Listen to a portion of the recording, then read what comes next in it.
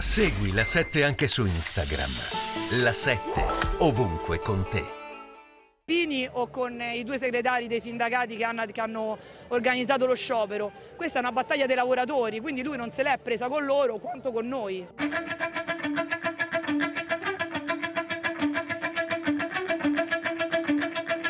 Sono un operatore scambi e cabine delle, di una delle linee di Roma, della Roma Centocelle. Io sono precettata nel senso che sarei andata comunque a lavorare per mantenere la fascia di garanzia e, la, e dare la possibilità quindi ai cittadini e agli utenti di tornare a casa dal lavoro e poi avrà aderito allo sciopero alle 8.30 di sera. Quando scioperiamo non lo facciamo mai contenti, nessuno vuole togliere il servizio al cittadino. Più ci precettano e noi scioperiamo ancora più forte, quindi mandiamo un bacio al signor Salvini.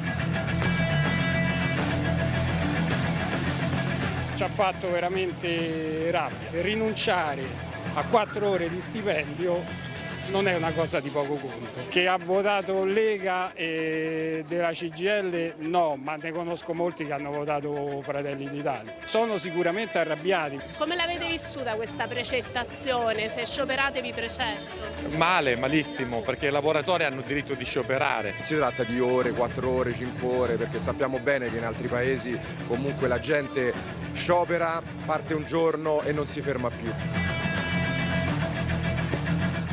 Salvini, guarda questa piazza! Studiala bene! Di tutte le altre piazze sono strapiene come non si vedeva da anni.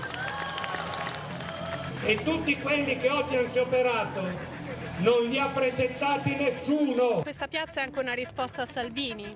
No, guardi, io non personalizzo. Eh, eh, quando uno si fa del male non c'è bisogno se, fa, se, se, lo sta facendo da solo. Bisogna avere rispetto dei lavoratori e delle lavoratrici. Non è mai successo nella storia della Repubblica che chi fa sciopero venga insultato. Da quando?